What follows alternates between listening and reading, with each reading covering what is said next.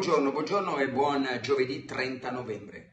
Voglio stringere, voglio stringere con un forte, forte abbraccio Giorgio Perinetti, direttore sportivo, conosciuto da tutti, oggi all'Avellino, eh, una persona educata, corretta, gentile, sempre una frase ogni Natale per mandarmi gli auguri, una persona che ho apprezzato conoscendola e parlando con lui più volte. Lo voglio stringere con un abbraccio forte forte perché dopo cinque anni dalla scomparsa della moglie Daniela per una brutta malattia è stato colpito da un altro lutto tremendo. Ieri è morta la figlia Emanuela di soli 34 anni. Eh, avevo conosciuto Emanuela qualche anno fa, una ragazza, una signora gentile, preparata. Ebbene, lo ha lasciato e quindi voglio essere vicino a Giorgio Perinetti per questo altro doloroso lutto. Ora parliamo, come sempre, della cosa più importante delle cose meno importanti, come il calcio. La cosa più importante delle meno importanti è una frase che ripeto sempre perché quando parliamo di drammi, quando parliamo di cose dolorose, non dobbiamo mai dimenticarlo che è sempre la più importante delle meno importanti. E cari amiche e cari amici che invito sempre a iscrivervi al mio canale YouTube, ad attivare la campanella, a mettere i vostri like per raggiungere, siamo a 148 e 900, siamo quasi a 149.000. Ma il titolo è tutto dedicato alla giornata di ieri, a quello che è successo ieri. E io voglio però andare a quello che è successo l'altro ieri innanzitutto, perché non mi è ancora passata. Non mi è ancora passata, non mi è ancora passata non la sconfitta, anche la sconfitta, ma non mi è ancora passata l'immagine di ciao con la gamba in mano, con la coscia in mano, un ciao che il Milan perderà da due mesi e mezzo a tre mesi. Dobbiamo aspettare che, scusate la crudezza dell'immagine, che il sangue che si è accumulato là dove ha accusato la lesione miotendinea si, si riassorba per capire la condizione del tendine. Non dovrebbe essere tragica come quella di Florenzi, il tendine di Florenzi addirittura si era staccato ed era salito, quindi ecco perché è stata necessaria un'operazione che l'ha lasciato fuori 6-7 mesi. Qua vedremo, lo vedranno i dottori, lo vedranno i medici, quale sia la condizione del tendine per capire anche la gravità dell'infortunio che ieri già il Milan ha chiamato con un termine che non abbiamo mai visto in un comunicato medico severo. Ha usato la parola severo e l'aggettivo severo ve lo spiego, perché dice attenzione è grave, ma non sappiamo ancora quanto sia grave, perché dobbiamo esatt- esattamente capire quando il sangue si riassorbirà. Ho ancora in, ma- in quell'immagine nella mia mente le mani nei capelli di, di, cap- di Capitan Davide Calabria e questo questo silenzio agghiacciante che si è che ha avvolto San Siro. Certo, i ragazzi della curva sud hanno cantato, hanno cercato di aiutare non solo i giocatori del Milan, ma di trascinare anche il pubblico. Questa volta non ci sono riusciti. Forse hanno aiutato i ragazzi, ma il pubblico non li ha seguiti. Eravamo, erano, eravamo tutti ammutoliti a pensare all'ennesimo infortunio, all'ancora un Milan mutilato dei suoi campioni. E questa, que, quella mezz'ora mi, rimane, mi rimarrà sempre impressa perché sono stati tre anni meravigliosi di emozioni, di una squadra, di un gruppo, di un allenatore che ha trascinato e mi ha fatto vivere tre anni emozionanti e temo o perlomeno spero di no, ma sono preoccupato che qualcosa si sia forse rotto, perché il pubblico no, non sono così sciocchi di lasciare la squadra per le sconfitte. Ma sono state settimane frustranti non solo per il risultato, ma anche per questa continuo, continua falcidie di infortuni. Andiamo a vedere il motivo. Eh, ieri ho letto, no, non è colpa dell'allenatore, dello staff, ma forse eh, il turnover non applicato alla grande, come se il turnover non fosse scelto dallo staff e dall'allenatore.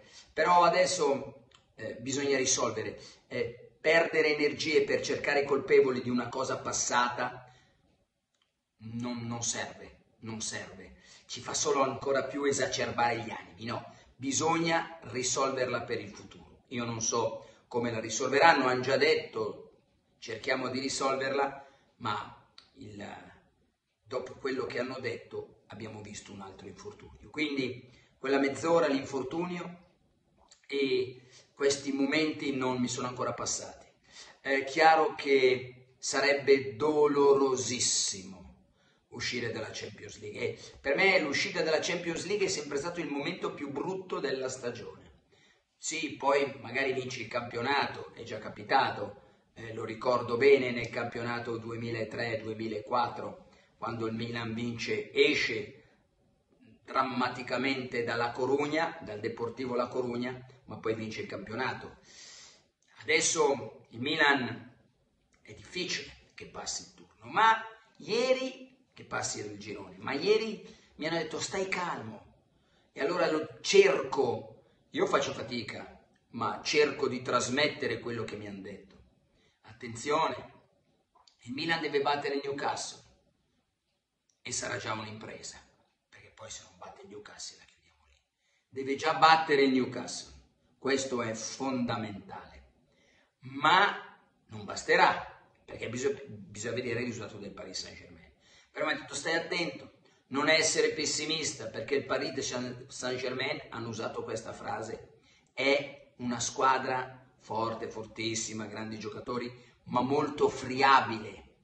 Il Borussia Dortmund se vince porta a casa 3 milioni, 3 milioni e potrebbe, in caso di vittoria del Milan, ma anche del Newcastle, perché il Milan e Newcastle sono pari, nel caso perdesse il, perdesse il eh, Paris Saint-Germain, ebbene se dovesse perdere il Paris Saint-Germain, il Borussia non ce l'ha tra i piedi, eventualmente nei quarti di finale, perché negli ottavi non la può affrontare, ma nei quarti potrebbe ritornare. Quindi concentriamoci sul Newcastle, cerchiamo di recuperare i giocatori, vi do notizie riguardo al, al recupero dei giocatori. Chiaro che Milan ha perso. Ciao, non ha ancora recuperato Cafor, però con l'Atalanta, col Frosinone, è l'ultima partita ancora di totale emergenza, speriamo che sia l'ultima partita di totale emergenza, dovrebbe tornare tra Frosinone, ma mi sembra difficile, e Bergamo dovrebbe tornare Benasser, almeno per la panchina, ma intanto torna. Dovrebbe tornare col, per l'Atalanta Leao e sono già due. E tra Atalanta e Monza dovrebbe tornare Chier. Quindi incominciano a ritornare, incominciano a permettere magari un leggero turnover dopo la, la, l'impresa che aspetta il Milan contro il Frosinone. Un leggero turnover potrebbe già cominciare in attesa che torni Okafor. Le, la, il, oh, scusate, ho urtato perché il piede ballava dal nervoso, adesso lo tengo calmo. Dicevo, il fatto che Ciukwueze torni può dare ancora, indipendentemente da Okafor, la possibilità di far girare Ciukwueze e magari far tirare il fiato ogni tanto a Leao per non fargli giocare i 90 minuti. Quindi cerco di trasmettervi questa speranza, una speranza che non è morta per i tifosi della curva, perché hanno organizzato un meraviglioso charter andata e ritorno per Newcastle e ieri non ci sono state, o l'altro ieri, anzi ieri, delle disdette.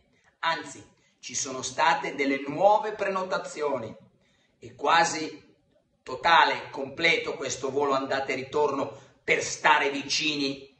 Volo charter anch'io prendevo sempre ai tempi il volo charter o del Milan Club o dell'associazione italiana, qualche Milan Club, ricordo abbiamo, abbiamo avuto dei charter organizzati dal Milan Club vecchio, Milan Club Forlanini, col Milan Club Donne Rossonere, con la Fossa dei Leoni che era all'interno del Milan Club Forlanini, parlo degli anni 70 quando si volava per seguire il Milan nella Coppa delle Coppe, per esempio, siamo andati Sa- a Salonico eh, per vedere la finale e la vittoria contro il Leeds, eravamo su un charter organizzato. Quindi non ci sono state disdette, anzi ancora è ormai quasi completo, mancano pochissimi posti e quindi chi vorre, volesse andare a seguire i ragazzi con il, i ragazzi della curva c'è ancora qualche posto per stare vicino al nostro Milan. Chiudo con Zlatan Ibrahimovic. Lo aspetto. Eh, scusate, mi dicono razionalmente, guarda che però non sarà nell'organico del Milan, andrà sotto la sfera, sotto l'egida di, di Redbird va bene, va bene tutto, d'accordo che venga e che venga ieri.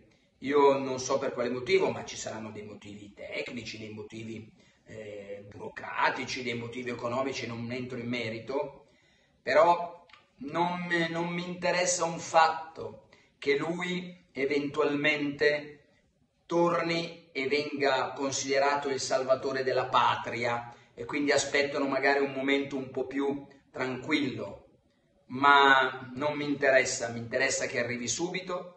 Pioli, ripeto, è stato confermato, confermato sempre ovviamente, ma seguito con più attenzione, capite quello che voglio dire dai dirigenti, dirigenti che hanno ritenuto che oggi sia sulla bilancia sia più pesante la continuità e l'evitare una scossa e lo shock ai giocatori rispetto a, un, a un, un altro tipo di shock, cioè l'arrivo di un altro allenatore. Questa è stata la decisione dopo il colloquio ieri di Gerry Cardinale accompagnato da Giorgio Furlani con eh, Stefano Pioli. Però la tendenza è arrivare almeno a giugno, e però ovviamente l'allenatore sarà monitorato sia per quello che riguarda il discorso infortuni, sia per quello perché anche se è il turnover, eccetera, ma lui, se no da chi andiamo? Da, vado, vado da, da, da, uno che passa per strada e bisogna chiedere a lui per quello e poi per i risultati, sperando di incominciare a recuperare giocatori, di non perderne dei nuovi, che è la cosa fondamentale, e poi vediamo se il mercato di gennaio, dove mi dicono già, poi ne approfondiremo magari nel video di mezzogiorno, ness- per adesso nessuno svincolato, prima cosa. Seconda, non mi sembra che ci sia intenzione di spendere molto denaro, ve lo dico già, ma si andrà a cercare dei parametri zero o dei prestiti o dei prestiti. Vedremo, ma adesso cerchiamo di uscire da questo momento un po' di sconforto. Se vi è piaciuto questo video mettete il vostro like e iscrivetevi al canale YouTube.